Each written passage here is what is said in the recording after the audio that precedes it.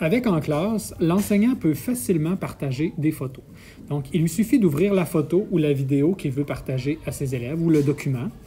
Il clique sur Partager et il choisit dans AirDrop s'il veut partager à toute sa classe ou s'il veut partager à des équipes.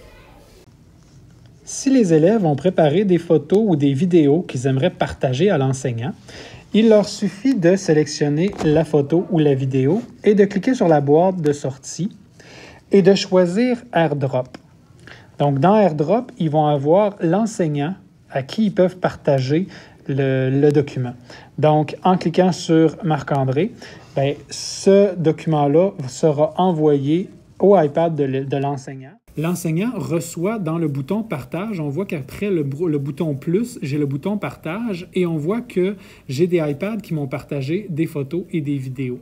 Donc, je peux euh, consulter la photo ou la vidéo euh, directement à partir de là.